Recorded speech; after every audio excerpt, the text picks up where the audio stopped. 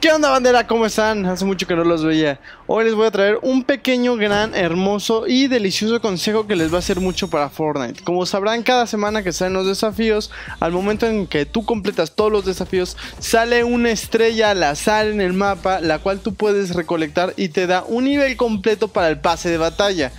Y como verán, siempre salen por todas partes y es difícil de encontrarlos, pero les voy a traer un pequeño y ligero tip donde van a poder encontrarlos bastante sencillo.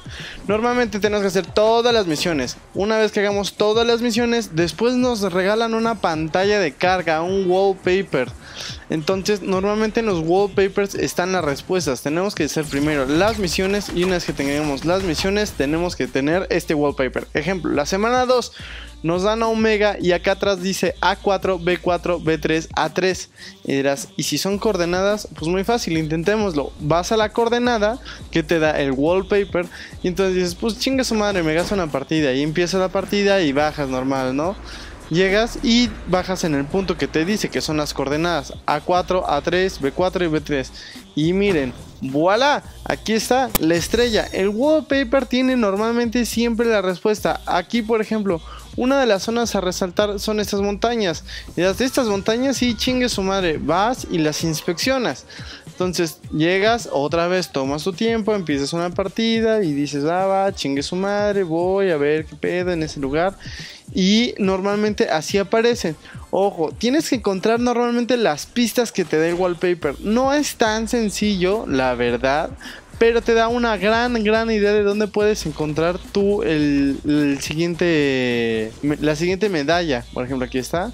Y la encontramos bastante fácil. Ahora, la semana 4 nos dan el laboratorio aquí, la guarida de los villanos. Yo creo que es una super pizza bastante, bastante fácil.